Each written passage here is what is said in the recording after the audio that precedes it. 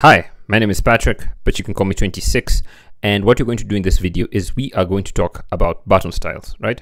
Now, button styles provide us with a way to sort of encapsulate all the appearance and behavior of your buttons of like you could make a custom one with some appearance and behavior of a button and make it reusable so that you can use it in multiple buttons, right?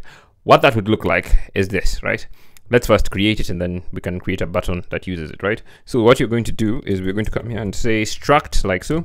This is going to be, let's say custom button style like so. So we call it custom button style. And this one is going to be of type button, spell it correctly, button style like so. Button style, which is a protocol. And um, we could have that. And we're just going to say make body with the configuration, right? So what we want to do is we would like to come here and get the configuration here and say configuration like so.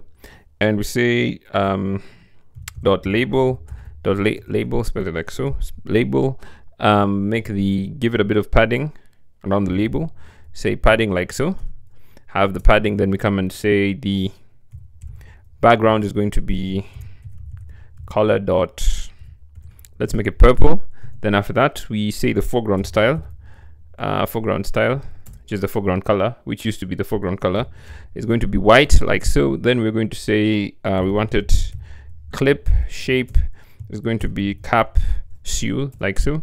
Then um, that is going to be that. Let's do that first. And then we could come here and we could put, what we're going to put is we're going to create a button, right? So let's just put a simple button like so. It's going to have the word add me. And here we're not going to do anything but we just want to give it the button style of let's say button button style and the button style in question is going to be custom button style right? So we do that and we get this right? We get this um, this padding and this color right? Now the button is still not that unique right? Where this because if you think about it we could have access to the same uh, when you're we're creating a custom view modifier right? A custom view modifier where this can be interesting or this can be good or this can be unique and where it would look like the you could compare to the configuration update handler that was introduced in iOS 15 for UIKit um, that we use if you're following with my Tinder clone um, is that we can essentially change the look or the feel or how the buttons the how it acts when it's pressed right? So what that would look like is let's come and see that. We could scale it and come in and say scale effect. And for the scale effect we could come here and we say this is just going to be um, let's make sure that we can pass in the scale effect right? That's one thing we could do. We could come here and we say something like um, let's come in and say something like let scaled or spell it correctly or however you want to spell it right? Scaled and this has to be core graphic float. Let's have scaled there and then we could have an initializer. The initializer is going to be scaled like so and we want this to be a default value in case you don't pass anything right? This is going to be 0.9 right?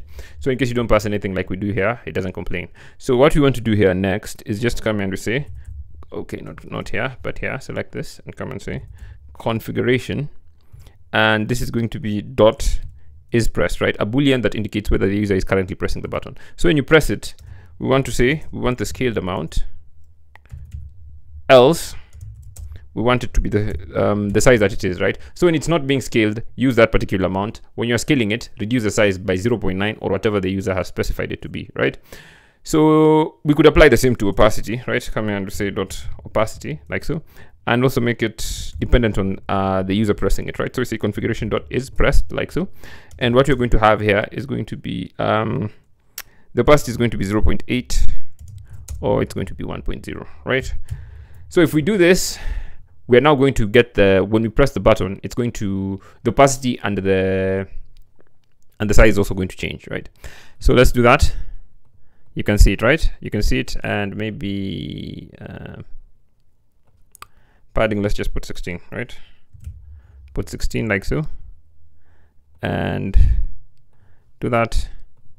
And okay right? So that is basically it and we could make it more pronounced. Let's make this something like 0 0.6 it's going to be a bit more pronounced when we actually pass in the um, when we pass in the scale right? So now it's going to be a lot smaller. Now it's more exaggerated because you're making it a lot smaller than what it is, right? So that's the advantage of using button style. And now we can apply it to multiple buttons, right? We could come here and we say something like button. Um, this one is going to be called uh, something like plus, like so. We're going to have a button called plus. Come here, do this. And we have plus, and we want to apply the button style. Um, we say button style, and this is just going to be custom button style, right? Now we have the ability to apply a particular custom button style and the ability to to affect the behavior of the button, i.e., how it work, how it seems when it's pressed by applying this particular style. So this particular use um, of dealing with the updating it based on whether or not it's being pressed or not is where the custom button, uh, the button style actually shines, right? So that is that.